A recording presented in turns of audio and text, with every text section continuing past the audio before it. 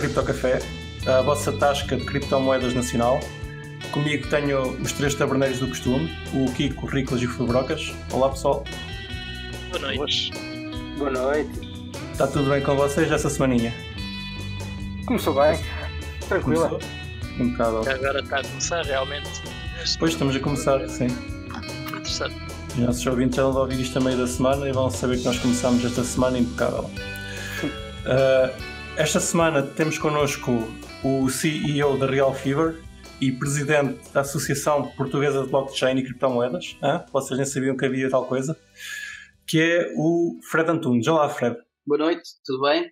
Tudo bem. Obrigado por estares aqui connosco, na nossa taberna. Obrigado É um pelo prazer. convite.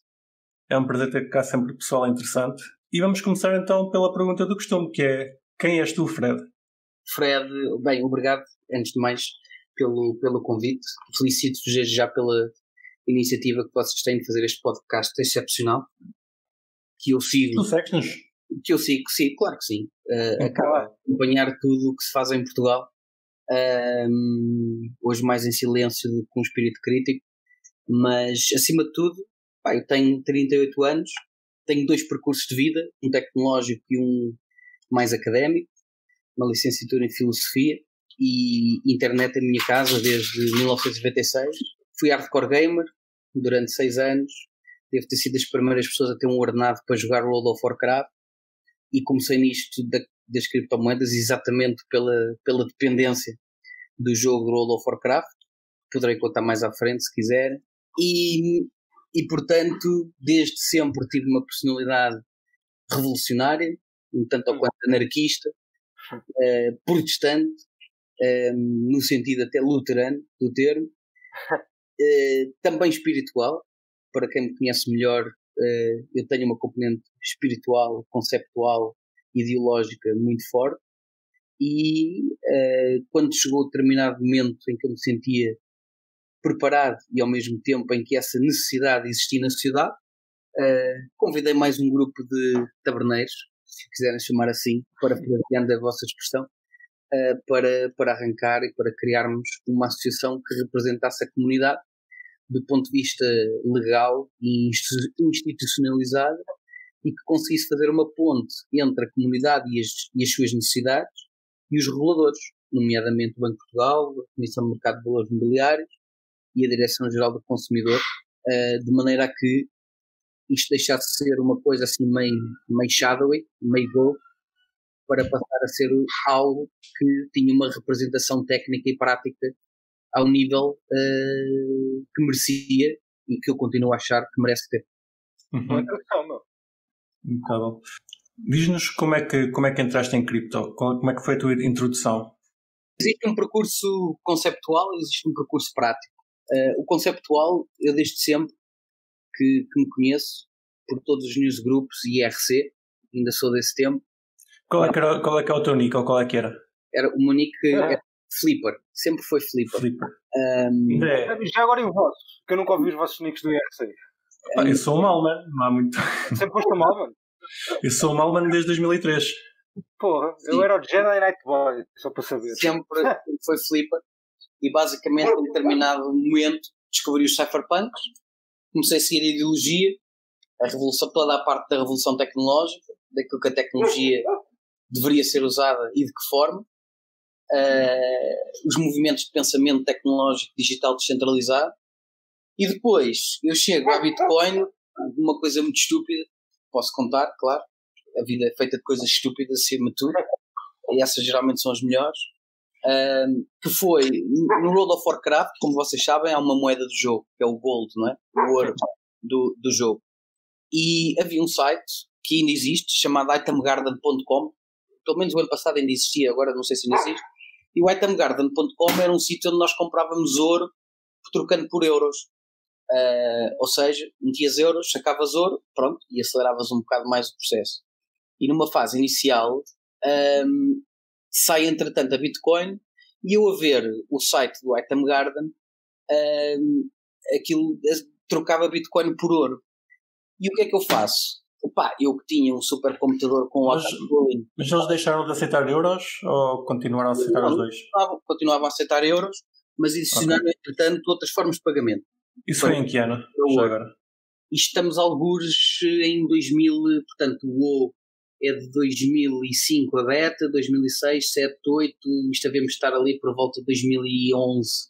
Portanto, a Burning Crusade é de 2009, portanto, estamos em final de 2009, início de 2010. E nessa altura, então comecei a ligar, na altura, ainda tenho aqui o computador e as placas gráficas da altura, tinha aqui uma máquina water cooling, um water cooling com peças da, da Inovatec e daquilo que existia exatamente da altura. Aliás, há um vídeo até, uma entrevista que eu dei na altura para a RTP, porque na altura falavam-se dos miúdos que jogavam, eram os problemas psicológicos e depois não caíam é, as crianças que jogavam eram doentes e tal. Então, nessa entrevista, até está lá o, o computador até da altura, depois para uns upgrades, e, e, foi aí que tive o primeiro contacto com a mineração. Ou seja, uh, foi minerar para trocar as bitcoins na altura por ouro por craft. Portanto, epá, aquilo dava uma carrada de moedas não é? na altura e mesmo assim até 2014 continua a dar muita moeda. Opa, pronto, e grande parte das moedas que passaram por mim eram enviadas lá para o Item Garden para depois se trocar por ouro no, no World of Warcraft. Opa, pronto. Estão enterradas no WoW. Enterrava no WoW, exatamente. Portanto, imagina o que é que os gajos do Item Garden agora vão ter. Enfim, pronto, é o que é. Tens no, ainda tens a tua conta de, de World of Warcraft? Tenho a minha conta do World of Warcraft, está ativa, com a subscrição paga e parqueada como membro honorário nos balance em Green Battle. Pronto, eu, eu não percebo nada disso, mas tudo que valha, que valha os milhões, só pelos bitcoins que lá enterraste. Opa, pô, bitcoins, entretanto, aquilo também a cada expansão a coisa vai evoluindo, não é? Sim, sim, sim. E portanto o boneco fica obsoleto. Mas, independentemente do boneco ficar ou não obsoleto, tem uma série de Game Achievements ainda de 2006 uh, eh, e logicamente tem, tem grande valor. É uma conta que só pelo histórico vale muito. Claro. Sim, pelo histórico vale muito, mas nunca venderei. Foi uma claro. parte da minha vida que me trouxe muitas coisas boas. Celebrei três aniversários online. Opa, foi uma altura muito importante e que aprendi muita coisa, especialmente em termos de liderança. Eu joguei sempre em, em equipas maioritariamente nórdicas e a cultura portuguesa nunca permite num jogo ter alguém no topo mundial. Especialmente quando nós portugueses competimos com suecos, noruegueses e finlandeses. E se houve coisa que eu aprendi muito hoje em dia na minha carreira profissional. Foi graças ao voo por ter jogado dessa maneira 16, 17 horas por dia com suecos, finlandeses e noruegueses, opa, e pela organização, porque a pontualidade é uma, um imperativo categórico para o nórdico, e portanto se uma raid começava às 8 da noite, às 7h30 toda a gente tinha que estar preparada para arrancar. Num jogo português, se era às 7 da noite, o, o raid leader chegava às 9 e depois para nos mexermos do jogo numa coisa que poderia demorar um movimento de 20 minutos, de ir um continente ao outro, pá, numa guild portuguesa demorava mais duas horas. É, portanto, Organização acima de tudo.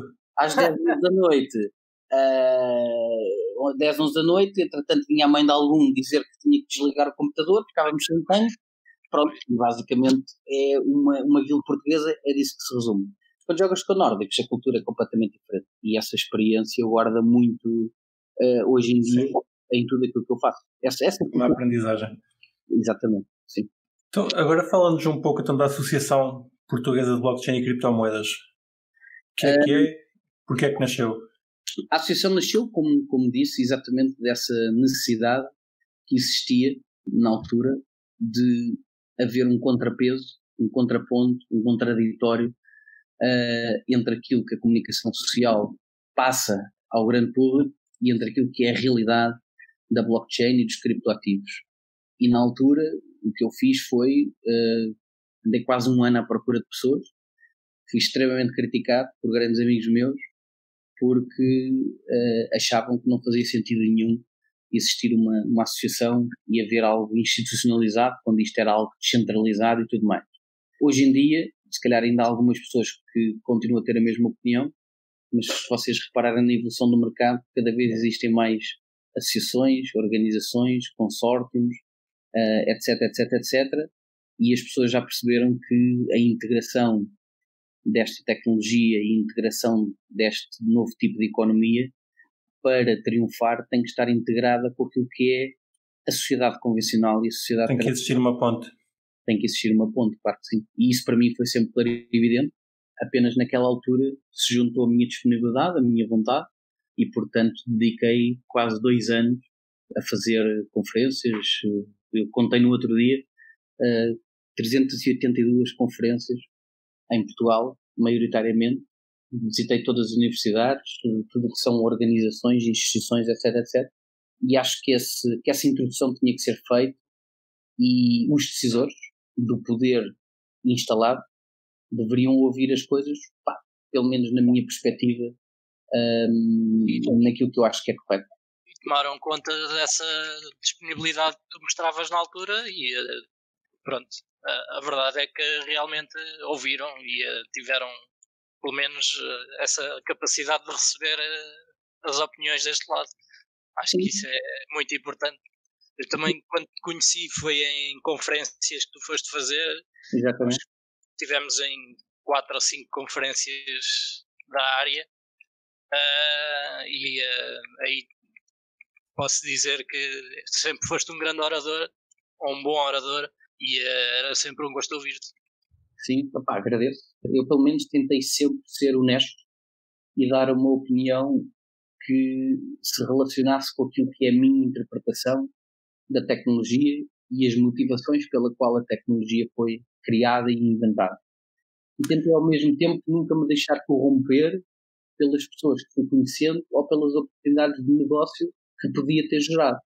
E, portanto, nunca cedi às tentações que, entretanto, quando vocês começam num percurso como aquele que eu fiz, essas tentações surgem e eu sempre soube dizer não àquilo que era o desvio do percurso que eu, que eu, que eu queria fazer e que continuo a fazer. E Quais é que para ti foram as maiores dificuldades, tipo, quando montaste a PBC e, ao- e o evoluir da PBC? Que barreiras é que tu, que tu tiveste, maioritariamente? Olha, posso dizer que a primeira barreira foi abrir uma conta bancária. Imagina. Porque vocês imaginem a dificuldade que é abrir uma conta bancária para uma empresa para movimentar com criptoativo, quanto mais a dificuldade, e aqui estamos em 2017, não é? Final de, aliás, estamos em final de 2016, início de 2017, imaginem o que é a dificuldade de chegar a um banco e falar sobre a associação que representa os bitcoineiros, não é? Eh, portanto, a Caixa Geral de Depósitos não aceitou, o Millennium não aceitou, o Banco Inter foi ali um problema durante umas semanas, até que eu ameacei a, a gestora, lá a gerente do, do balcão da, das Amoreiras, se eh, a minha cara amiga não aceitar a conta, eu amanhã tenho um press release na, na comunicação social a dizer que o Banco Inter, juntamente com a Caixa de Depósitos e o Millennium, não deixaram abrir eh, a conta bancária, que é um direito consagrado na Constituição, a uma associação sem fins lucrativos, constituída ao abrigo da lei portuguesa e reconhecida pelo, pelo oficial de, de- dos registros, né, do- dos registros de notariado, que assim a reconheceu como legítima e legal. E isto foram mais ou menos dois dias e depois a compliance eh, do Banco Inter aceitou o conta. Portanto, essa foi a principal dificuldade. Depois disto, a dificuldade eu acho que tem mais a ver com uma questão de comunidade, porque nós, infelizmente, em Portugal, temos uma comunidade extremamente Dispersa? não, eu diria até o contrário, muitas vezes idiota. Ah, porque tudo o que se faz, tudo o que se faz tem sempre um motivo de criticar. Portanto, vocês vão reparar que vão ter aqui o café, vocês estão com a melhor das intenções, tentam falar disto da forma mais idónea e, e- e elegante e correta que vocês acham, e há de haver sempre um gajo que lá vai meter um post qualquer a dizer que vocês estão errados que são os atrasados mentais. Portanto, nós na posição, com a exposição que tivemos, queremos exatamente a mesma coisa e hoje em dia às vezes a mesma, eh, eh, ainda continuamos a sofrer. Mas é como vos digo, eu sempre pensei pela minha cabeça, sempre fiz os percursos que eu achei que eram corretos e independentemente de melhor ou pior comentário, eh, eu mantive a minha ideia como continuo a manter hoje. Portanto, foco no bem e ignoro o mal. Muito bom. Então, mas, Ah. é, desculpa, mal. Diz. Continua. Não, ia, ia só perguntar, tipo, porque nos últimos anos realmente eu também, também, também tive contigo algumas conferências, mas reparei que agora no, no último ano, talvez um ano e tal, que a PVC tem dado mais desaparecida. Porquê? Pedro, é uma excelente pergunta, à qual eu vou responder de uma maneira uh, um tanto ao quanto elegante. Uh, eu hoje, por acaso, cruzei-me, por acaso, tive a primeira reunião de escola da minha filha e, entretanto, a professora falou em educação moderna. E nós temos um filósofo português chamado Agostinho da Silva, professor Agostinho da Silva, que é claramente uma das pessoas mais importantes do pensamento da educação moderna. E o professor Agostinho da Silva tem três máximas, uh, e as três máximas são muito simples. É o em que a sociedade deve assentar. É no sustento, é no saber e é na saúde. E se houve um momento, ao final de dois anos, de eu dedicar completamente a minha vida na totalidade à promoção da blockchain e dos criptoativos em Portugal e a defendê-los publicamente contra todo o tipo de, de, de, pessoas, desde administradores de bancos até uh, administradores de instituições públicas uh, e, e, com responsabilidade na própria legislação que acontece, uh, investidores, etc, etc, foi que eu sempre defendi que a blockchain e os criptoativos são exatamente a manifestação tecnológica para a solução do problema do professor Agostinho da Silva. Ou seja, sustento, saber e saúde. E, em determinado momento, eu comecei a perceber que até dentro do meu círculo de amigos mais próximos, na verdade, ninguém se preocupava com isto. O que se preocupavam era apenas e só em multiplicar uns trocos, arranjar umas, umas pessoas ignorantes para lhes darem dinheiro, para eles fazer umas aplicações de trading e, e, e, ficarem com o dinheiro das pessoas para, para, fazer, para fazer trading. E, portanto, eu que sou absolutamente contra, escrupulosamente contra, receber dinheiro, seja de quem for, para o multiplicar uh, via criptoativo, comecei a ter o meu próprio círculo de amigos intoxicado, contaminado, uh, minado por esse tipo de, de, de, ganância, por terem euros. E eu que sempre estive nisto e continuo a estar, e estou hoje aqui exatamente no mesmo princípio filosófico, foi sempre o que eu quero é ter cada vez mais criptoativos e não tenho que guardar o dinheiro de ninguém. O que eu tenho é que ajudar esse alguém a saber guardar o seu próprio dinheiro. O que eu percebi em determinado momento foi que estava sozinho. Estava sozinho. Ninguém se preocupava com isso. O que as pessoas se preocupavam era, como vos digo, arranjarem uns, uns, eh, uma malta para lhes dar dinheiro ou para multiplicarem umas coisas pelo caminho. E isso, para além de me ter desmotivado, foi aquilo também que me fez afastar uh, um pouco desta exposição pública uh, e ao mesmo tempo abraçar o projeto da Real Fibra, que não tem absolutamente nada a ver com cripto, um, é um projeto na, na, área do futebol e, e, portanto afastar um bocadinho dessa exposição pública. Não digo que não voltarei, mas acho que neste momento uh, a comunidade e a sociedade precisam também maturar um pouco mais as coisas para que eu possa voltar. Então diz uma coisa, tu achas que, que, essa ganância faz parte do percurso das pessoas normais? E outra pergunta que tem a ver com isso, se achas que, aliás, como é que tu, como é que tu achas que as pessoas deveriam lidar então com, com, pá, com, com a Associação de Criptomoedas, basicamente? Eu acho que as pessoas têm que olhar para a associação como um espaço livre e público, onde eh, todas podem estar representadas e onde todas podem fazer parte. Esta foi sempre a minha ideia.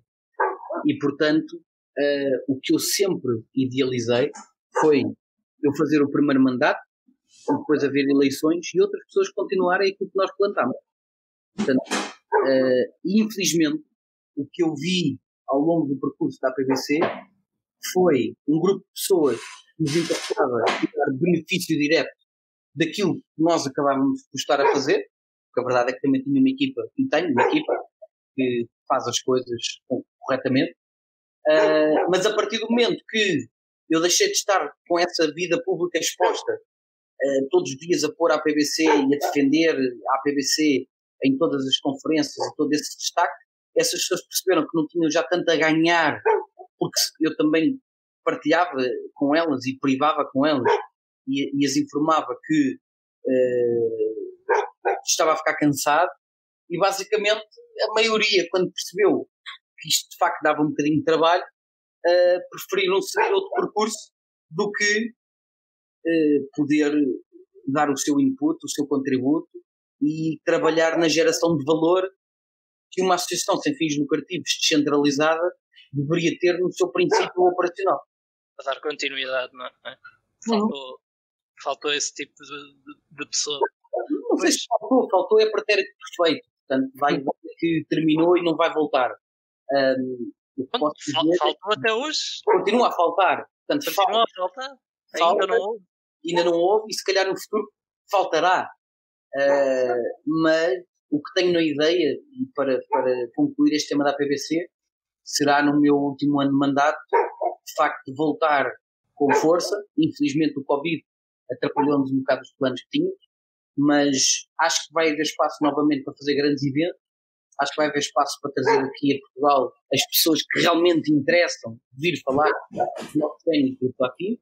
É Nick Zap, é Adam Beck e é uh, Antonopoulos, e portanto acho que essas três pessoas têm um mandato à frente da PVC. O que eu tenho na minha ideia é terminar o meu mandato com essas três pessoas em Portugal, porque são de facto para mim os pais de tudo isto que nós temos hoje em dia, visto que não podemos também trazer o Satoshi Nakamoto, que não sabemos quem é. O Adam Beck já acabei de falar, os outros dois ainda não, por acaso. A não ser que seja o Adam Beck, né? Como? A não ser que seja o Adam Beck. O Exato. Tá não, mas olha, Teoria da conspiração. Se, se me permitisses, voltava um bocadinho atrás só à questão da conta bancária e só para perguntar se vocês não equacionaram não ter uma conta bancária e usar só Bitcoin. Não, isso em primeiro lugar é ilegal.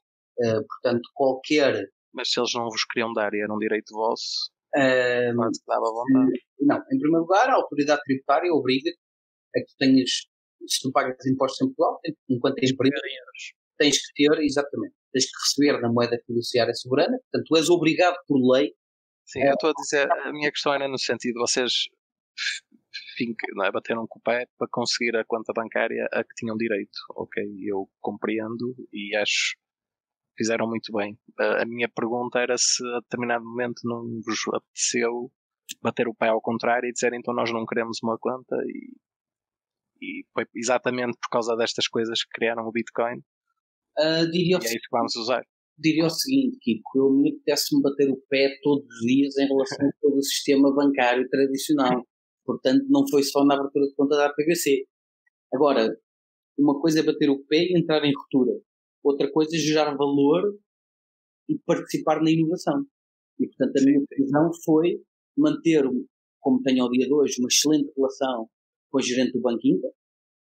Ao mesmo tempo, uh, ter estado em contacto com todo o departamento de cybercrime e compliance do Banco Inter, do qual hoje uh, sou amigo pessoal, uh, desde as pessoas responsáveis, e explicar-nos como é que eles podem operar neste mundo de forma lícita e segura, em vez de simplesmente entrar em ruptura. Portanto, eu tenho sempre uma perspectiva muito mais do lado de educar do que criticar e entrar em ruptura. Sim, sim, construtivo, não, sim. Sim, sim, sim, tem de ser construtivo.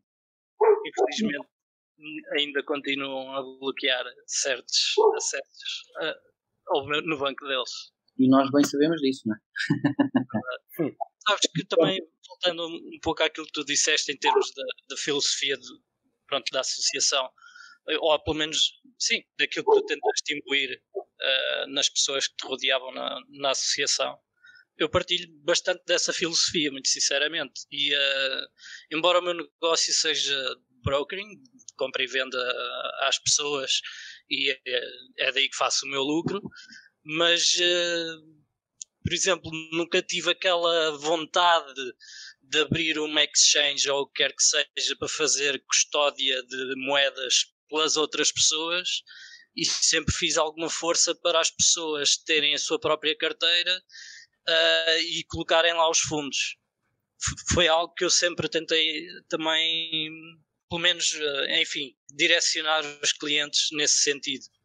E uh, também quando se trata em termos de, de investimentos, de, recolha de investimento, ou quer que seja, e fazer trading, etc., acho que também há uma, uma perspectiva que se as pessoas nesta área quiserem, na minha opinião, que é a mais certa, que é podemos fazer os contratos até em base de euro se quiserem, tudo muito bem, mas quando se faz os pagamentos são feitos em Bitcoin e cada cliente vai ter a sua carteira e se precisarem de ajuda para gerir, nós ajudamos. Repara, eu quero deixar isto claro, eu não estou contra as pessoas que fazem trading, atenção. Sim, uh, sim, eu, são filosofias diferentes, digo eu. Exatamente, eu pessoalmente eh, acredito que a vertente mais nobre na implementação desta tecnologia é educar, é ajudar a que a pessoa entenda que sempre que confia a alguém o poder de controlar um ativo seu, está a ir para a tendência do sistema tradicional, do sistema financeiro tradicional, em vez daquilo que é a proposta dos cypherpunks, no sentido de tu seres o, o dono daquilo que é teu, o dono efetivo daquilo que é teu. E, portanto, eu sempre me opus a qualquer questão comercial que fosse ir buscar dinheiro às pessoas para o guardar e investir por elas, até porque no mercado não regulado e onde própria, as próprias autoridades não têm capacidade para poder supervisionar isso, e sabe depois uma porta gigante a uma das coisas que é praticamente uma das principais atividades da PVC, que é ajudar pessoas a recuperarem dinheiro que lhe foi roubado porque foram enganadas, porque existem depois esses investidores que, infelizmente, usam a ignorância uh, das pessoas para lhes conseguirem extorquir dinheiro. Uh, isso foi sempre aquilo que eu me opus. Ok. E, e diz-me uma coisa, por curiosidade, como é que tu vês a Bitcoin em si como uma reserva de valor? Achas que algum dia vai conseguir captar uma grande maioria do mercado? Ou seja, achas que algum dia vai ser Bitcoin, a própria Bitcoin vai ser uma reserva de valor mundial, por exemplo? Eu acho que existem duas perspectivas que nós podemos ter em relação a isto. E aqui eu vou um bocadinho contra algumas coisas que vocês já disseram neste. neste nesta taberna. Nesta taberna, não é? Mas uh, quero desde já dizer o seguinte: eu sou uma pessoa, para além de conhecer pessoalmente, uh, não posso dizer ser, ser amigo, infelizmente não sou, mas uh, eu acho que o Roger Berg é uma pessoa que está certa uh, em muitas coisas, especialmente em muitas coisas da sua visão. Acho que falhou muito ao longo da história, depois da forma como implementa, da forma como, como se expressa, mas eu acho que conceptualmente ele está correto, independentemente de ser mais ou menos hipócrita, uh, ele está correto. E neste sentido, eu acho que é uma questão, há um sonho que o Satoshi Nakamoto teve, que eu acho que nunca vai ser verdade, que é a Bitcoin poder ser uma forma eletrónica de pagamentos peer-to-peer. Uh, porque não tem essa capacidade e nunca vai escalar do ponto de vista uh, massivo para de facto se tornar essa moeda. Por outro lado, dependendo da tua pergunta, acho que acima de tudo, a Bitcoin vai ser cada vez mais, neste novo tempo de pandemia, vai ser cada vez mais vista como, uh, e até por força da transformação digital que a sociedade sofreu devido à pandemia, acho que a Bitcoin vai ser cada vez mais um ativo de refúgio, uh, onde um, os, os, investidores e, e, as pessoas que querem proteger um ativo uh, versus a inflação vai poder, vai poder eh, colocar o seu, em última instância, a sua riqueza. E, portanto, eu vejo muito mais a Bitcoin a longo prazo como um ativo de refúgio e, naturalmente, como reserva de valor, do que propriamente uma forma eletrónica de pagamento peer-to-peer. Acho que isso não, não acontecerá. Uh, não achas que o Lightning Network pode, pode fazer com que isso venha a ser realidade? Uh, não, porque eu acho que o protocolo da Lightning Network comparativamente com outras propostas de moedas. Portanto, eu não sou purista da, da Bitcoin, longe disso. Acho que qualquer pessoa que tenha um pensamento descentralizado deve perceber, e olha, estas são umas discussões muitas vezes que eu tenho currículos quando estamos juntos ou quando jantamos ou coisas do género. Ele, é, ele é muito mais purista do que eu, mas eu acho que qualquer pessoa que tenha um pensamento descentralizado deve entender que a oportunidade da Bitcoin não deve ser única, nem ditatorial em relação a outras moedas e outras tecnologias. Claro. E, portanto, eu acho que não tem que se inventar formas menos seguras de operar a Bitcoin. Eu acho que o que tem é que se inventar moedas mais funcionais e igualmente seguras que façam a Bitcoin uh, ter o seu caminho, mas que essa porta tem que estar aberta a outras moedas. Sim, porque... exato.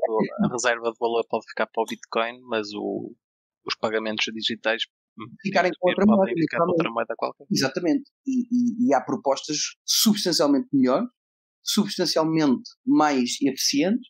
E se vocês repararem, uh, se formos ler uh, de forma justa e perfeita o white paper de Satoshi Nakamoto, eu diria que não é muito difícil nós percebermos que a Bitcoin que ele idealizou não é definitivamente aquilo que se passa hoje em dia. Portanto, eu diria que o protocolo mais próximo daquilo que foi a ideia que o Satoshi Nakamoto escreveu é claramente o Monero, até porque continua a garantir de alguma maneira uh, o anonimato, continua a garantir de alguma maneira as transações por segundo, continua a garantir de alguma maneira aquilo que o Satoshi Nakamoto uh, em última instância definiu como forma de, de pagamentos. Agora vocês perguntam, o Monero vai triunfar?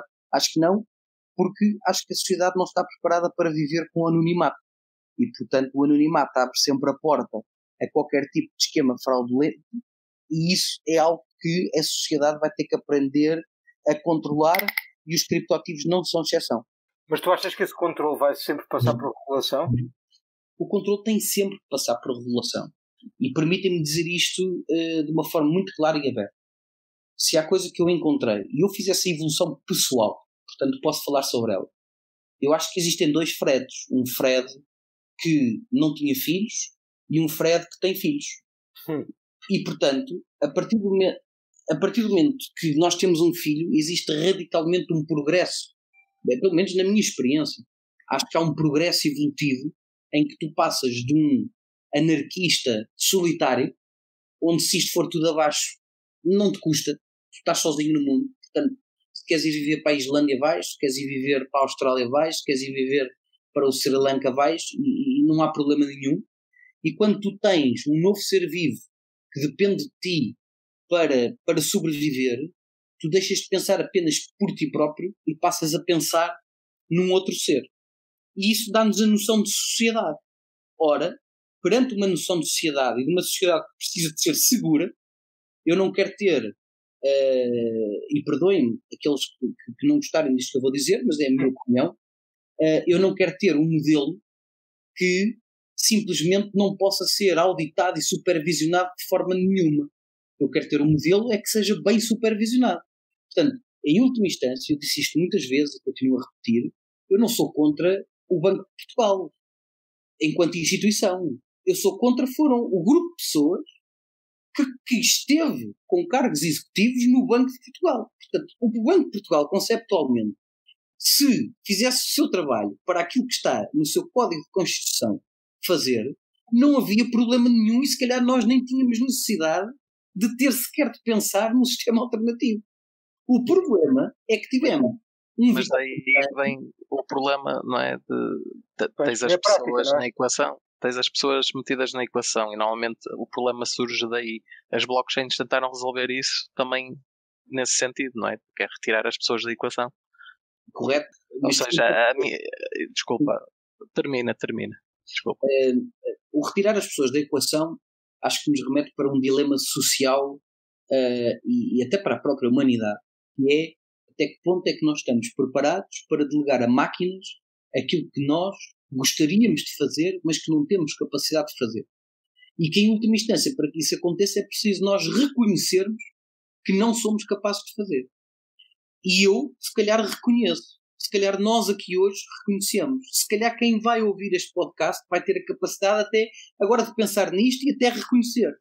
Mas a pergunta que vos faço é: se vocês estivessem do lado de quem controla o mundo ao dia de hoje, se vocês estivessem do lado de quem controla um exército, quem tem poder nuclear, quem controla a eletricidade, quem controla a produção de energia em última instância em todas as suas formas, vocês acham que têm algum interesse em delegar a máquinas a solução do problema? Eu tenho essas dúvidas. E tenho essas dúvidas porque eu, quando me expus e comecei a expor publicamente nisto, isto foi o que eu tentei explicar às pessoas.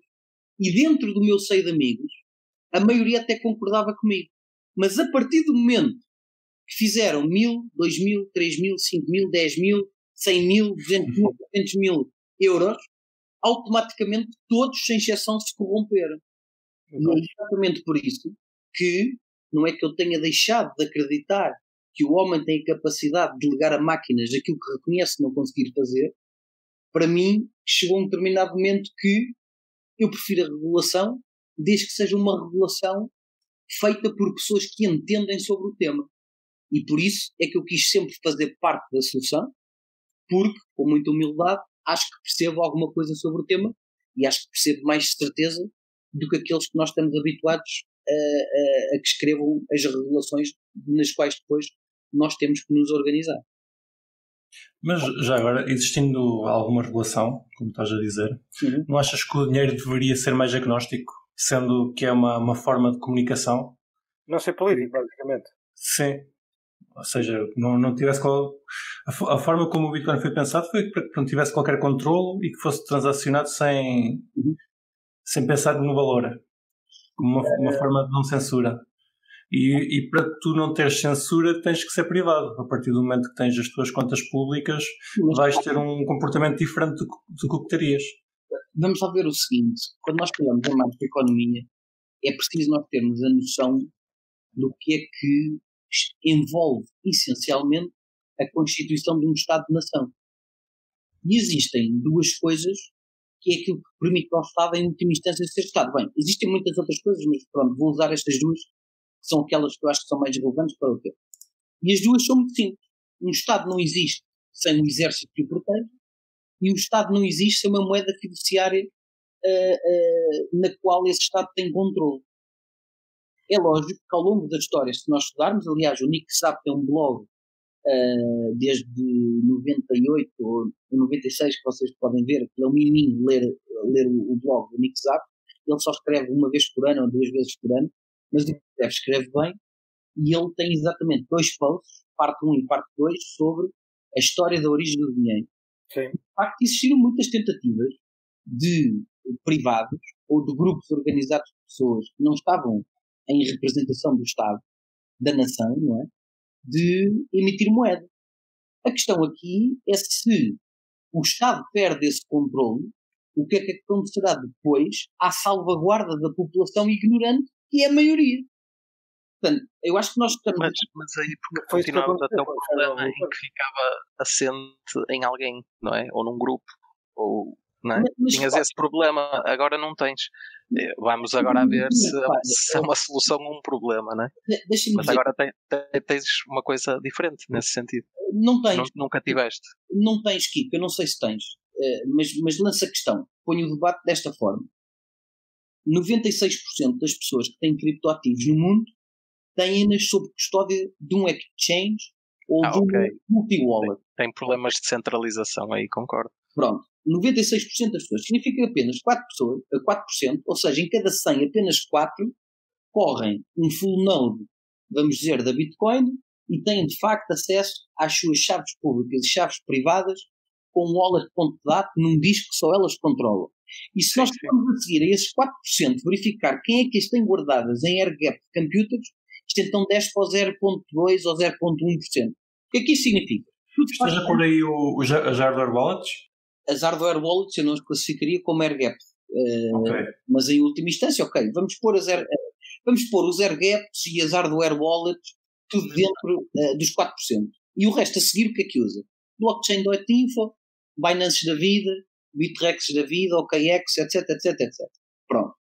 Ou então, Coinomis, Exodus, Jax, whatever. Uh, portanto, eu percebo que o argumento, a proposta tecnológica é boa, mas vocês nunca se podem esquecer de uma coisa. Operar criptoativos, do ponto de vista da usabilidade, é extremamente complicado e complexo. E porquê? Porque qualquer pessoa que se engane num algarismo perde as moedas para sempre e não existe nenhuma autoridade central que as possa recuperar. e portanto, nós não podemos partir do princípio que são todos inteligentes e que vão todos aprender a operar isto. Nós temos que partir do princípio que a maioria são burros e nunca vão conseguir e saber fazer. Mas não, não achas que com a necessidade não, não virá o engenho? há, há 10 anos atrás ninguém usava telemóveis, nem Facebook e afins, e hoje em dia, por exemplo, o meu pai já usa, coisa que eu nunca pensei na vida concordo, que ia acontecer. Concordo, concordo. Uh, aliás, tenho um artigo escrito sobre isso. Concordo. Uh, o próprio Steve Jobs, o que defendia era que quando o mercado não queria uma coisa, éramos nós que tínhamos que explicar ao mercado como é que ela se utilizava e criar essa demanda essa necessidade, exatamente. Um, e eu concordo com essa perspectiva. A única coisa que tenho dúvidas é que, em determinado momento, que os principais bancos queiram servir isso aos seus clientes, eles têm uma vantagem uh, estratégica gigante. E em Portugal dou-vos um exemplo. Vocês podem criar centenas ou dezenas de projetos. Olha, dou-vos um exemplo simples, que eu conheço com alguma proximidade.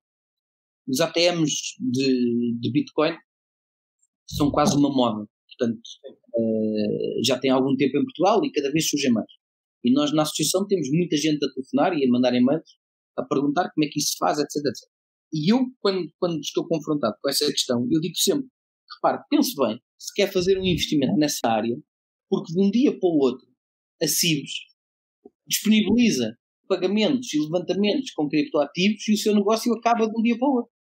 Portanto, uh, a decisão dos big players de entrar nisto ou não é um caminho necessário para o mass adoption, sendo que pode surgir, e vocês podem argumentar isso, bom, mas o PayPal surgiu e tornou-se uma grande plataforma de pagamentos e os bancos não tomaram parte daquilo. E eu vou concordar. Mas acho que os bancos ao dia de hoje, ou pelo menos as empresas fintech, irão sempre lutar por uma posição no mercado que não seja dar às pessoas o poder e o controle sobre o seu, sobre o seu dinheiro. E por isso mesmo, para mim, a única solução possível que existe, e, não acho que seja utópica, tem a ver com a educação, e educação essa que leva ao saber. Sim, há muitos anos. Também podemos argumentar que, que as criptomoedas não, não brilham como nós quereríamos, porque o nosso sistema atual, apesar das falhas todas, funciona muito bem. Sim, quer dizer, eu não sei se o sistema dia 2 funciona de forma correta, porque eu não posso ter um jogo Herardo que vai à casa da democracia, rouba 100 milhões ou mais e ri-se. Pronto. Portanto, nesse sentido, o sistema não funciona de forma correta. Eu não posso ter um sistema onde o governador do Banco de Portugal, aliás, os dois últimos governadores do Banco de Portugal, tanto o Vítor Constâncio como o Carlos Costa, perante o país estar a saque, o que eles têm a dizer é que não se lembram, esqueceram, foram à casa de banho, enfim. Uh, o problema é isso, é esses gajos onde é que eles estão quando é preciso. Quando pois, não é preciso. Pronto. Não é? Sim, é. mas no, no, no, no caso da cripto, nós, nós temos esses problemas todos, mas tu não notas a moeda a inflacionar por causa desses problemas, apesar de que eventualmente há, há de ter algum, algum peso. E, e eu acho que o, o, Bitcoin brilha, por exemplo, na Venezuela, onde tens uma hiperflação em que eles preferem ter dólares ou o Bitcoin. E nós, e nós cá, a maior parte dos, dos, dos, da, das, dos portugueses e não só, do, dos governos mundiais, não tem esse problema. Por agora? Por agora, sim. Por agora, sim. Podem ter a certeza que daqui a dois ou três anos, com a impressão ilimitada de dinheiro que está feita, uh, o problema de hiperinflação se vai colocar, mas lá está, aí voltamos à questão da reserva de valor e o ativo de refúgio. Uhum. Mas reparem, se vocês pensarem do ponto de vista técnico, uh, o Estado ou neste caso a Reserva Federal, não é? o Banco Central, o Tesouro, do Sim. ponto de vista histórico, é, o nome era o Tesouro. Uh, o Tesouro deveria fazer o seguinte: quando a economia cresce, o Tesouro deve emitir moeda. Exatamente. Quando, quando a economia recua, o Tesouro deveria retirar moeda de circulação. Aquilo tem que chama burn, não é? Exato. Uh, portanto, fazer precisamente o contrário. O Estado faz exatamente o contrário. Concorda assim. E, portanto, por isso mesmo, eu sou um crente em termos de uma Bitcoin a valorizar até aos 100 mil dólares, uh, alguns numa década, e atenção que isto não é nenhum uh, financial advice, é apenas e só uma opinião pessoal, que está fundamentada nisto. Portanto, ao dia de hoje nós temos, uh, não sei exatamente a relação em, em, com os números exatos, mas vamos dizer que temos uh, um milhão de euros por cada Bitcoin em circulação. Nós em 10 anos vamos ter 10 milhões de euros por cada Bitcoin na mesma circulação. Portanto, se fizermos uma divisão simples, o valor da Bitcoin vai ser, ter sempre que subir. A questão aqui não, é. Eu, eu, costumo dizer na brincadeira que é o euro que está a perder valor, não é o, o Bitcoin, Bitcoin, que está a ganhar. Exatamente, exatamente, não é o Bitcoin que está a ganhar. Agora, também permite-me dar aqui, fazer um pouco de advogado do diabo. Uh, a Bitcoin não é infalível. A Bitcoin tem uma série de problemas dentro da sua comunidade e dentro da sua construção que mais tarde ou mais cedo hum, esse problema vai surgir. Reparem, há muitas pessoas, e às vezes em alguns podcasts eu ouço isso, em algumas conferências eu ouço isso, e salto logo em cima das pessoas que o dizem, que é dizer que a Bitcoin é descentralizada. É falso. A Bitcoin não é descentralizada. O poder de mineração ao dia 2 da Bitcoin está quase 80% em território chinês. Isto significa que os chineses, se quiserem desligar a Bitcoin, eles em 24 horas eles têm o poder de o fazer. Depois a seguir vais precisar, eh, na Bitcoin não existe um procedimento, por exemplo no Bitcoin, no, no Bitcoin Cash existe, que é o EDA, não é? Que é o Emergency Difficult Adjustment. Tu vais ter que esperar seis semanas para a correção da dificuldade da mineração, o que basicamente ficas no mínimo com seis, eh, são duas semanas, desculpa. Sim, sim, sim. sim. Ficas com Não, duas... mas quando, quando a hash rate cai, é mais. O, ah, pode ser mais, pode ser mais. Pode ser mais. Semanas. Pode ser mais. São os tais, eh, não sei quantos. 2 mil e tal blocos, não é? Exatamente. Tempo do bloco, claro. Pronto, e nessa circunstância, se vocês analisarem de forma absolutamente imparcial, ok? Vocês veem que há propostas como o Bitcoin Cash, como a Litecoin, como uh, outras, que têm os Emergency Difficult Adjustments devidamente uh, configurados, de forma a que, se 80% da rede se desliga, a rede não para. Pronto. E isso para mim é de facto uma preocupação. Portanto, eu não posso defender de forma cega a Bitcoin, não faz parte do meu caráter nem da minha personalidade, porque 80% do poder de mineração está em território chinês. Portanto, nesse sentido, eu prefiro muito mais o Monero, prefiro muito mais o Ethereum, prefiro muito mais até a própria Litecoin do que a Bitcoin, exatamente por estar pá, minimamente descentralizada. Já agora estamos a, tá, estás a falar nisso. Qual é, é a tua opinião sobre o POS, Proof of Stake? Estavas a falar do Ethereum, vai, vai migrar para Proof of Stake mais tarde ou mais cedo. O, o, o, Proof of Stake e o Delegated Proof of Stake são, no fundo, a, a, substituição low cost daquilo que é o consumo de energia elétrica. E, portanto, em vez de meteres energia elétrica para segurar a rede, uh, metes. Uh, o dinheiro da rede. Metes o dinheiro da rede. Pronto. Eu acho que, em última instância, depende tudo da finalidade do protocolo e depende tudo de qual é a aplicação ou que tu vais fazer, vais utilizar essa blockchain.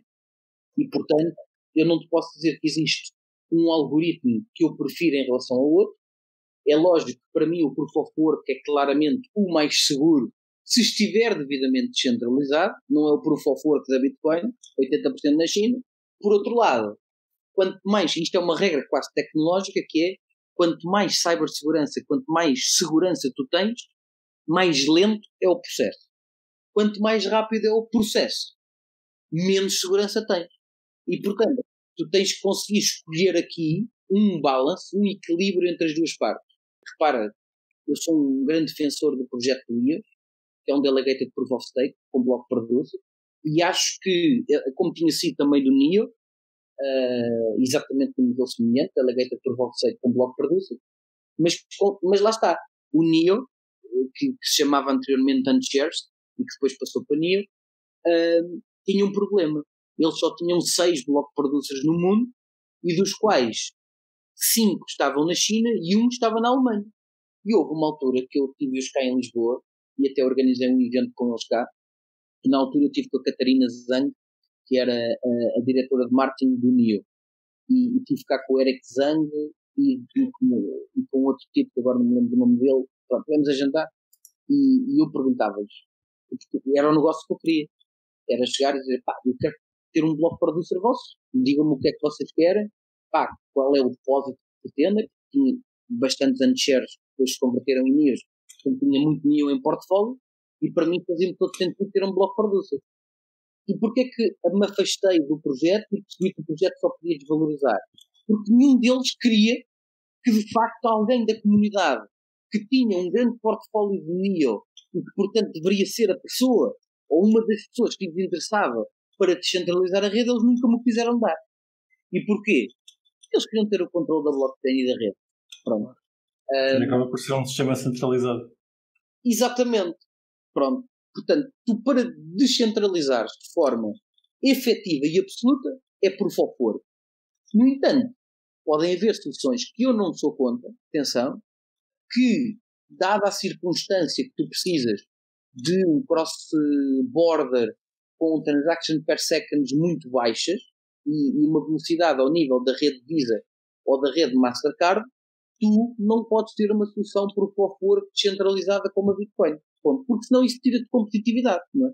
Portanto, tu precisas de pagamentos instantâneos. Ou então recorres à plataforma que aí o Trust tem, por exemplo, não é? Sim, claro. E simplesmente resolves o problema por aí, mas lá está. Estás a colocar, deixas de ter um peer-to-peer para passares a ter uh, um, um, um cripto intermediário. Uhum, é verdade. No, no, no, no, white paper de Satoshi Nakamoto, opa, ele diz que é para não ter intermediários. Portanto, eu continuo a achar que não devem haver intermediários. Então, e diz-me uma coisa, voltando um bocadinho se calhar atrás. Um, aliás, duas coisas. Uma era para pegar um ponto que tu disseste há bocado, que era relativamente à, à questão, por exemplo, da Litecoin ou da Bitcoin Cash, de, de pronto, já, já conseguirem resolver alguns problemas que a Bitcoin não consegue resolver. E pá, eu aí estou de acordo contigo mas eu, eu entro em desacordo só num ponto que é, eu acho que se elas fossem a Bitcoin, ou seja, se elas um dia chegassem ao patamar da aceitação da Bitcoin, elas poderiam ter uh, alguns problemas muito semelhantes ao que a Bitcoin tem hoje, simplesmente porque é muito difícil de desenvolver a que é mais adotada, a tecnologia que é mais adotada. Isto, isto obviamente é uma coisa E outro ponto que eu queria perguntar, que é ainda ir mais, um bocadinho mais atrás, é tu realmente, tu, pá, tu se calhar foste a pessoa que eu, eu pessoalmente conheço que te fez um, um, melhor trabalho ou que tentou sempre fazer um melhor trabalho de aproximação com reguladores e com autoridades. Mas tu pessoalmente já tiveste algum problema com, com, com, a, com a autoridade? Já tiveste algum problema por causa dessa tua exposição? São perguntas muito diferentes, peço desculpa, mas olha, vieram as à cabeça. Eh, eu respondo à, à tua pergunta uh, e, e, concordo contigo. Okay. Uh, e a minha resposta, Pedro, é sempre a mesma. Porque essa pergunta é uma pergunta que pá, existe muitas vezes, que é hoje a solução é esta, mas depois revela-se que afinal não é e é outra. E eu explico porquê. Pá, e vocês conhecem as pessoas, todas as pessoas que vêm para este mundo, originalmente vêm cheios de ideias. Hum. Quando a seguir mete um milhão, dois milhões, três milhões ao bolso, claro. não ouvem mais falar deles. Porquê? Porque a missão não era genuína, a missão não era nobre, a missão era simplesmente aquilo que os gajos, o Ricardo Salgado faz, que é amelhar dinheiro. Pronto. Um, nesse sentido, podemos dar aqui uma lista de 20 ou 30, ou se calhar 50 ou 100, de pessoas que participaram nos fundamentos da Bitcoin e que hoje em dia estão fora porque estão milionários e já não lhes interessa a missão. Podia-te dar exemplos até de alguns cypherpunks que fizeram parte dos movimentos ficaram milionários já não lhes interessa a missão. Podia dar exemplos de gente do Ethereum, de gente até do próprio Bitcoin Cash, etc, etc, etc. E de vários projetos. Ou até de gente do NIO. O NIO claro. em 330 dólares de coisas que vinham tipo 0,0001 cêntimo, não é? Claro. Portanto, uh, essas pessoas ao dia de hoje, quando eu lhes escrevo e continuamos em contacto, uh, epá, a malta que está a viver nas Bermudas, a malta que está a viver assim nos paraísos fiscais para não ter chatices com as autoridades, epá, e faz uma vida de luxo e, portanto, esqueceu a missão. O que eu tento não me desviar da missão. Pronto, epá, eh, é o que é. Uh, sobre a outra pergunta que me fizeste, sim, uh, não tenho nenhum problema em dizer. Acho que uma, não podia ser hipócrita nisso. Acho que, se calhar, o principal trigger que me fez afastar deste, desta exposição pública foi em dezembro de 2018 ter tido aqui 12 inspectores da Polícia Judiciária em minha casa, onde basicamente vive a minha filha e a minha mulher, para me levarem tudo o que eu tinha tecnológico em casa, inclusive monitores. portanto, vejam, eu não conheço nenhuma forma de guardar uh, chaves portáveis uh, em monitores. Devias ter a saída posta dentro do monitor? Eles depois lá tiveram de desmontá-los. Opa, não sei. Sim, está bem, mas aí também metia nas cuecas, não? E as cuecas eles não levaram. uh, portanto, enfim, tive aqui de facto uma, uma situação que eu acho que foi, pá, em última instância. Um... Uma invasão de privacidade, não? Não, foi, foi encontrar um motivo. O caminho pareceu e continua a parecer é que houve várias pessoas que estiveram detidas e que em última instância diziam que, que eu é que era o tipo que realmente mexia com muitas moedas e que tinha muitas moedas. Pá, e pronto, eles tentaram vir aqui também para poder ter aquele sonho erótico concretizado de poder mexer numas carteiras com muitas moedas. Mas, uh, felizmente, Para mim, infelizmente para ele, os danos foram mínimos. A única coisa que me chateia foi que me levaram algumas máquinas que tinha cá em casa. Opa, e levaram-me duas Antminers S3 que eu tinha comprado com tanto amor e carinho em 2014. Em 2014, o meu, o meu primeiro batch de mineração de Antminers foram as S3, uh, a primeira série, uh, que na altura comprei 10. Tinha aqui ainda duas que usava para demonstrações em conferências e tudo mais. Uh, e pronto, neste momento ainda estou na Polícia Judiciária e aquelas máquinas deram-me tantas moedas. Ainda não voltaram. Uh, pronto, eu, tenho um amor especial por elas, as outras oito vendidas, entretanto, mas aquelas duas, pá, pronto, podia ficar com elas por recordação e eles levaram-me. E isso foi de facto, a partir do momento, mais uma vez vos digo, pá, quando entro na minha casa, com a minha filha, com a minha mulher, uh, é uma experiência muito negativa. Pois muda muita coisa. Eles acusaram-te de alguma coisa? Uh, diz, não percebi. Eles acusaram-te de alguma coisa em específico? Ou... Não, acima de tudo, teve a ver com, com um processo uh, em que uh, pronto, o processo também tem saído de justiça. Não pode pois só curiosidade se quiser, mas não precisas falar disso aqui também. Sim, mas existe uma, existe uma acusação na qual eu sou absolutamente inocente, enfim, de uma pessoa que, que alegou uma assinatura falsa minha para me poder, enfim, colocar num uhum. processo que, entretanto, uh, há um período utilizar a assinatura, não é? É, exatamente. Portanto, lá está, quando tens uma vida pública exposta, existe uma série de burlões que utilizam o teu nome e que, de facto, em última instância, também que a expressão toda que eu tinha, eu acho que, acima de tudo, eles quiseram vir confirmar onde é que eu tinha os Lamborghinis e os Ferraris todas guardadas. Depois... A, tua, a tua foto nunca apareceu em New ICO como advisor? Uh, apareceu e eu participei em três que até levantámos ah. uma de massa, portanto, e, e ainda fiz uns. Mas, mas pronto, eu estava a falar na, na parte de, de, de ilegitimamente. Uh, não, não sabia que tinhas participado em. Nunca tive, nunca tive conhecimento. Uh, mas se calhar até apareceu, eu é que não soube, não é? Pronto. Sim, às vezes isso acontecia, é verdade. Não, opa, não há nada a fazer, reparem. Eu lembro quando participei no. quando comprei os tokens do Ethereum uh, no ICO. Opa, depois daquilo houve ali uma fase que, que, o projeto começou, foi quando eu comecei a fazer conferências, dá-se aquela barraca do. do, do, Mount Cox. Não, não, não, do Mount Cox. Dá-se a barraca do Mount Cox. Eu nunca perdi nada no Mount Cox. O Mount Cox que acaba por ser hoje o Kraken, não é? Pronto, é olha, o Mount Cox é um bocado o, o Banco Espírito Santo e o novo banco. O Banco Espírito Santo uh, era o, pronto, tinha o banco mau e o banco bom, não é? Que era o Mount Gox. Depois, entretanto, o Mount Gox dá-se a barraca uh, e é criado um novo banco que é hoje o Kraken. Pronto. E, portanto, a diferença é que o, que o banco bom ficou com, com dinheiro nas criptas e uh, no, na vida real não ficou. E na vida real não, não, sei, não sei a história, não sei a história da criação da Kraken, agora que estás a falar nisso. Não, mas. Não fazia, uh... não fazia ideia que estavam, li, estavam ligados de alguma forma. Então, ah, é exagerar um bocadinho. Aliás, até hoje eu, eu, eu, eu, nunca precisei de fazer resgate porque é como vos digo, não. Eu já, o Mt. Gox teve uma falha pá, uns seis meses antes de, de fechar definitivamente. É. E na altura eu ainda tinha algumas moedas lá e aquilo tirei tudo para chaves para, para, para carteiras privadas um, e, e, pronto, e protegi os meus ativos. Mas quem lá ficou, no início do Kraken, tu até podias ir lá pedir o resgate das moedas que tinhas perdido. E se estivesses nas carteiras específicas que tinham sido perdidas e que eles tinham conseguido recuperar, eles até devolviam os, eh, as moedas de volta. Sim, mas eu aí acho que estás a simplificar um bocado a, a situação, porque Opa, o que também não quero foi agora assim tão rápido, não é? Sim, certo. O que eu quero dizer é que, enfim, eh, misturar a Kraken com o Mt. Gox não é propriamente justo para a Kraken. Porque a, a Kraken o que fez foi eh, basicamente mercado gestor de insolvência da Mt. Gox. Ok, então uh, não estava não estava ligado.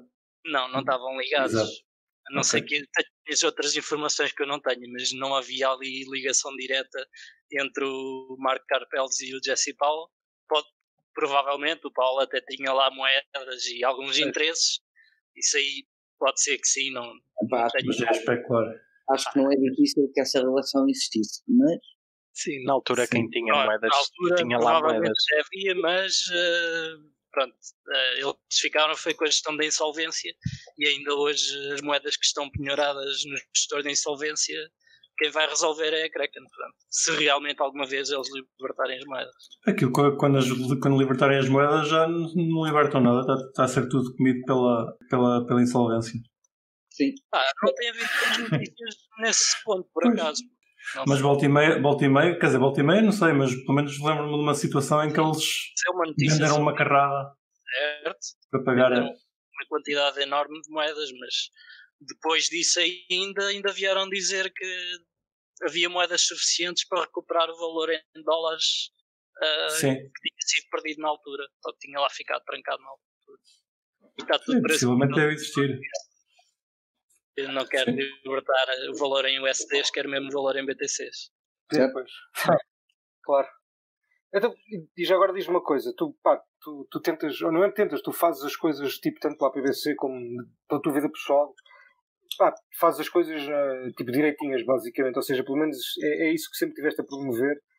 Oh, Tu declaras a tua cripto aqui em Portugal? Ou tipo, tu fazes esse exercício?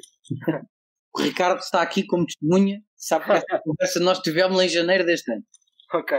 É verdade ou é mentira, Ricardo? Claro, é. Reparem no seguinte: eh, eu, eu este ano foi a primeira vez que eu apresentei uma declaração à autoridade tributária como tendo criptoativos.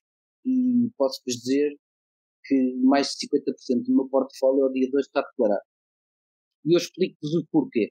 Se há percurso e caminho que será feito no sistema financeiro nos próximos anos, aliás, nós já temos essas indicações eh, do Deutsche Bank na Alemanha, é que os criptoativos vão servir como colateral, vão ser aceitos como colateral para a emissão de qualquer stand-by letter of credit ou para qualquer MT-799 que nós queiramos operar no mercado eh, financeiro tradicional.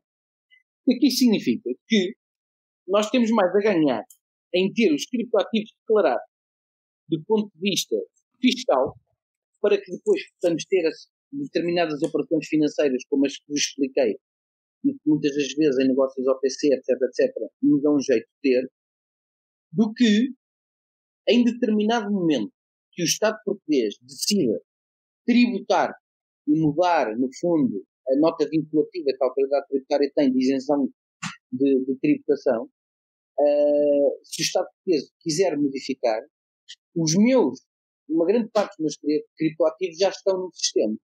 E, portanto, eu quando tiver que provar o que é que tenho e o que é que não tenho, e se precisar de determinadas operações no sistema tradicional, eu posso usar tokens lícitos que já estão previamente declarados e que não pagaram imposto no ano em que foram declarados, porque apenas porque a lei era esta. Podem alterar a lei e obri- obrigar o pessoal a, Não, não, do ano. desculpa. Eles podem alterar a lei, mas a mim já não me os tributam. Exato. porque eles foram colocados este ano. Portanto, se para o ano, e isso vai acontecer, se para o ano o Estado diz assim, todo o rendimento em criptoativos tributa 48,5%, vocês automaticamente, quando quiserem levantar esse dinheiro para euros, das duas uma, ou falam com o rico, Os ricos não fazem isso. Ilegal. É que eu também tenho que reportar depois e. ou, não, não, com o rico porque depois paga ele o imposto, não é? Pronto. Ah, Portanto, está com liability para ele, ou então ficam com liability de vocês e vão pagar os impostos. Portanto, eu, eu esta conversa tive. ou vamos para um país que seja mais amigo. Seis meses. Pois, tu podes ir com um país que seja mais amigo. Ah, mas volto a responder, na minha situação, que já tenho uma filha, é um Pois. bocado difícil viver uma vida nómada. E, portanto, eu, eu se for para outro país, eu, por exemplo, não posso ser o encarregado de educação da minha filha. Pá, que é uma coisa que me dá prazer ser, estou a desfrutar imenso. Portanto, é preciso às vezes ponderar os prós e os contras, e é como vos digo. Se eu, se eu tivesse a ter esta conversa há 7 ou 8 anos atrás, a conversa era mesmo hiper anarquista. Hoje eu não a consigo ter, eh, porque de facto a minha visão do mundo evoluiu. Ehm, e, Sim, o nosso pensamento vai evoluindo ao longo dos anos. exatamente, decidi aproveitar esta nota vinculativa da autoridade tributária não para liquidar os ativos, mas para os declarar. Ok? Então, uh, estamos aqui a chegar ao fim do nosso episódio. Uh, já agora, vocês, Riclas e Fubrocas, já ouviram alguma conferência onde esteve o Fred? Vocês diriam que ele é o António Antópolis português? o Andrés Antonopoulos. E Andrés Antonopoulos, caraças. Nem sei que nome é que tu disseste. Eu disse António, António. António Antonopoulos. Uh, em termos de oração, é de certeza. E uh, em termos de divulgação da, da moeda e deste mundo, foi quem mais trabalhou para isso. Pai, eu disse logo no início, conheci o Fred nas conferências e vi, uh, vi várias vezes a oratória dele. Portanto, Pelo vendo bem o peixe. Pá, eu, eu, eu, eu conheci o Fred noutras vidas, já antes, antes de cripto até, e, epá, mas digo também que pá, subscrevo tudo o que o Ricolas disse nesse ponto. Acho que, sinceramente, pá, eu, eu também me envolvi na cripto em Portugal bastante mais tarde do que vocês, penso. Porque eu vivo fora e então pá, sempre fui, sempre, sempre tive noutras comunidades, mais, mais no, no UK basicamente. Um, cá em Portugal, pá, desde que eu, que eu, que eu comecei a, a tentar também eh, pá, ter nome cá em Portugal, Uh, obviamente que, pá, que das, das, pessoas que, que eu mais tive sempre em conta foi pá, absolutamente o Fred. Uhum. E acho que é engraçado também, por acaso tive, pronto, tive esse privilégio de o conhecer nessa altura e então uh, estar a ouvir o discurso dele agora e o discurso dele então é algo um pouco diferente e então nota-se, é algo que se nota. Uhum. E, e, o Pedro uh, viu ainda antes da Bition, não é? Sim, sim, sim, sim. Sim, antes da Bition, exatamente. Foi, ainda estava na escola quando conheci este tinha pai 16 anos eu, eu queria dar uma nota final, só se me permitirem. Sim. Assim, muito rápida, mas que eu acho que era uma das formas de nós nos protegermos em relação ao futuro da dignidade e da nobreza com que se pode falar de criptoativos. Que era que dentro da comunidade e dentro das pessoas que falam sobre isto e querem opinar sobre isto, as pessoas tivessem que fazer prova de uma transação por menos de um Satoshi, para nós termos a certeza que estávamos a falar de alguém que já tinha consumido a mesma droga que nós. Porque senão, um dos problemas que eu sempre encontrei no regulador e muitas vezes nas grandes consultoras, nos grandes escritórios de advogado, é que eu estava-lhes a falar de carros, mas eles não tinham carta de condução. Portanto, eu recomendava uh, se é que isto é aceito, não é? Que todas as conversas que fossem tidas, que sejam sempre com alguém pá, que garantidamente pelo menos um Satoshi consegue operar. Porque isso prova que a pessoa sabe o que são chaves públicas e chaves privadas, sabe o que é movimentar uh, uh, uma, uma, uma ínfima parte de uma Bitcoin, e isso é o mínimo para que nós possamos ter um entendimento e uma geração de consenso e de respeito entre as partes. Pronto. Parece-me bem. Uhum. Até agora acho que não quebramos esse, esse voto. Uhum. Acho que não. Vamos tentando. Fred, diz-nos uma coisa: quando é que foi o teu pisadei? Quando é que achaste Bitcoin a primeira vez? Tens noção? World of Warcraft. World of Warcraft. Pois já nos tinhas dito. Já nos tinhas dito. Final de 2009, início de 2010. E depois foi sempre em 2010 a trocar por ouro uh, até mais ou menos 2013 uh, eh, e depois em 2014 aí já tinha as S3 já esse milestone é. uh, ainda, ainda vais gastando Bitcoin no teu dia a dia ou não, está tudo guardado? Uh, nada, nada, nada não, guardado? até 2040 eu tenho 10% do meu portfólio para brincar em trading o, compro, pá, pronto, vocês não vão gostar do que eu vou dizer, mas eu acho que até faz algum sentido compro uma série de shitcoins tipo Ripple. Eu gosto, pá, compra tudo, meu. para mim. É, uma série de shit, shitcoins tipo Ripple opá, e depois acumulo tudo. Portanto, eu acho que, que ir brincando com o mercado é a única, a única forma que tu tens de, de, de estar atualizado. E aprender, meu, e aprender sobre sim. É, sim, opá, o Ricardo o Riclas conhece algumas das minhas carteiras, eu, eu sei que ele vai monitorizando e ele vê que está tudo acumulado. Portanto, é verdade ou mentira? Que não sai dali. Pá. É verdade, é verdade. uh, Também lhe mostras a tua carteira de Monero? Uh, não, não. Por, por acaso de Monero acho que ninguém conhece. Uh, no caso dele conhece algumas, pronto, já fizemos algumas transações. E, e de facto, acumulo tudo e muitas vezes perguntam-se qual é o meu exit, se eu vendo, se eu vendi moedas all time high. E houve duas coisas que eu posso dizer com muita honra e com muita de uma forma muito assertiva e direta. Ponto 1. Um, nunca recebi dinheiro de ninguém para investir em nada. Ponto. E, e, e acreditem que fui aliciado sempre a isso por, por, por, muitas pessoas e pessoas com muita importância e riqueza. E ponto número 2. Nunca tive de liquidar nenhum criptoativo para ter que viver ou comer ou que fosse. E portanto, eu não misturo a minha vida de, de, de, criptoativos com a minha vida uh, de trabalho, uh, de geração de riqueza, e portanto, na verdade, eu até tiro do meu trabalho, da minha geração de riqueza tradicional, para todos os meses acumular mais cripto. E o meu exit. Está já a se embarcar cripto como se não houvesse amanhã. Opa, tudo o que eu ganho, continuo a comprar cripto, continuo a acumular, vou vendo outras moedas, outras soluções, eu acho que a tecnologia pode fazer sentido. Uh, acompanho muito de perto esta evolução dos atomic swaps, porque agora isto parece que há assim uma histeria de que vamos ligar blockchains com, com Oracle e portanto todos os projetos crescem-se de maneira louca, mas isso dava outra conferência, né?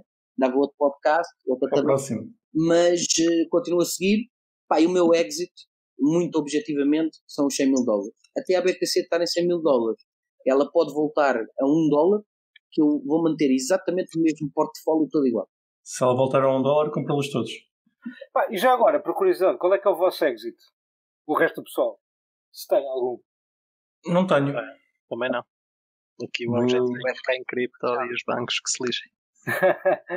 Acho que a filosofia, é um, pelo menos a minha, é um bocado como a do Fred. É, enquanto o trabalho tradicional, entre aspas, der para, para a sobrevivência, é acumular. Eu também concordo. Pá, eu, eu, eu tenho, tenho, um portfólio para venda, mas é, é exatamente isso. É menos de 50% do que eu tenho. Porque eu também concordo com essa approach. Ah, eu, eu uso cripto para o meu dia a dia, mas uh, claramente que, que, a maior parte do trabalho que eu faço é para acumular mais e não, não liquidar tudo. Sim, exato. Sim, porque reparem, quanto menos moeda existir em circulação, tendencialmente maior o valor. Claro, exatamente. Nós temos de agradecer ao pessoal que guarda, exatamente, é isso mesmo. Pois, quem fizer o valor Também temos que agradecer aos que fazem trade para, para dar liquidez. Exatamente. obrigado. Olha, Fred, é, obrigado por ter estado cá connosco. Vamos fechando aqui a tasca.